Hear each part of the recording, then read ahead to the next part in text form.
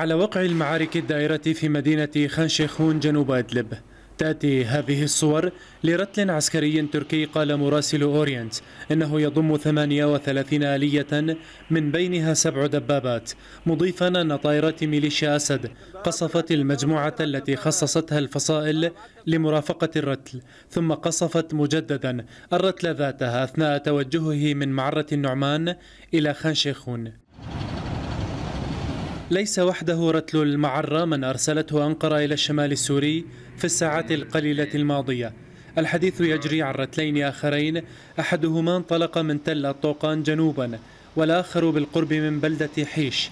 يأتي ذلك تزامنا مع حديث عن نية تركيا إقامة نقطتي مراقبة جديدتين جنوب إدلب.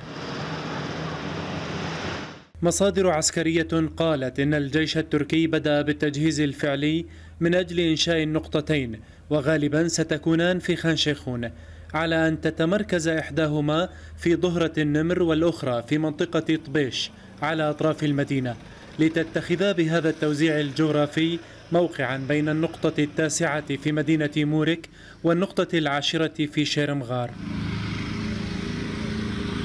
وعلى ذكر نقاط المراقبة وسائل إعلام تركية نقلت عن مسؤولين عسكريين أتراك أن أنقرة لن تسحب أي نقطة من نقاط المراقبة مهما بلغ حجم التصعيد.